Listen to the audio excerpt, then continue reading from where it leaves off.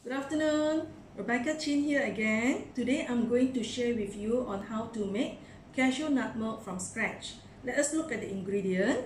I have here 1 cup of soaked cashew nut, rinse and drain well to get rid of the enzyme inhibitor. 6 pieces of mature date, seed and also soak for about 10 minutes.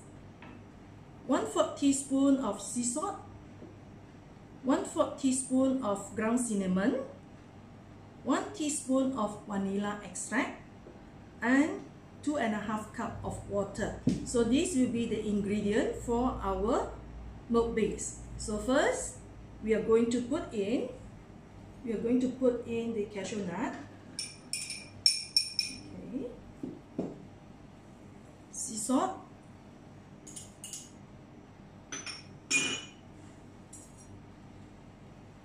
Vanilla extract, cinnamon powder, mature dates, and lastly, our water. Right. We are going to put to blend until it's uh, smooth and creamy, roughly about one minute.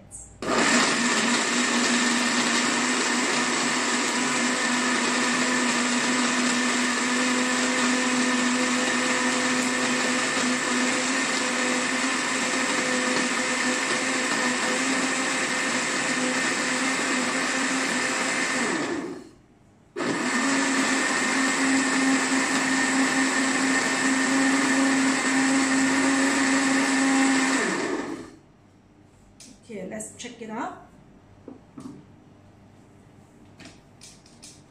Okay, here you are. This is our base milk, cashew nut milk. We do not need to strain it. That's why I love to use cashew nut. We can immediately use this to put into our smoothies to incorporate it and blend with other ingredients.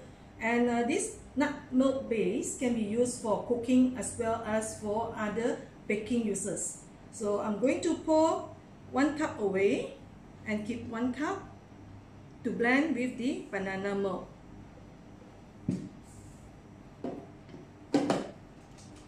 Okay, so I'm going to put in one piece of banana yeah, to blend into banana milk.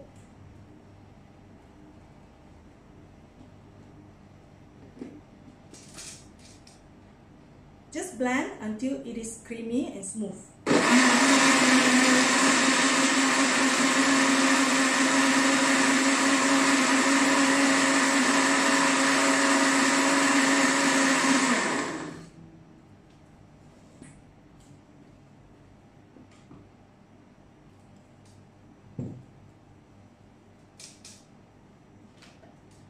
Okay, here you are. This is our banana cashew milk.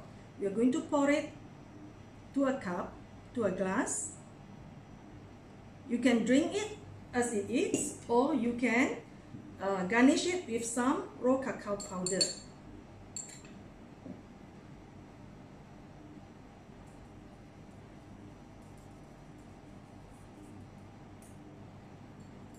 Here this is our banana nut milk. So for the base milk, you can use it for your cooking, for your baking, and also as a thickener in your curry dishes. So this uh, base milk, you can keep for about 2 to 3 days, chill in the fridge. Thank you.